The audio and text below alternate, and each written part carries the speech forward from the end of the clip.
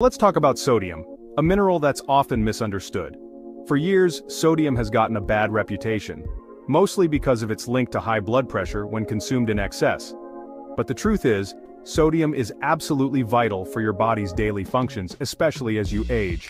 While too much salt can be harmful, the right amount is essential for your health. It's not about cutting sodium out completely, but about understanding how much your body actually needs and where to get it from. Sodium is a key electrolyte, helping your nerves, muscles, and fluid balance work smoothly.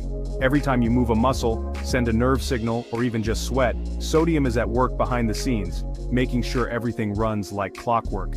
Think of sodium as your body's traffic controller, guiding water where it's needed. It helps maintain the right amount of fluid inside and outside your cells, which is crucial for keeping your organs functioning properly. Without enough sodium, you can get dehydrated, even if you're drinking plenty.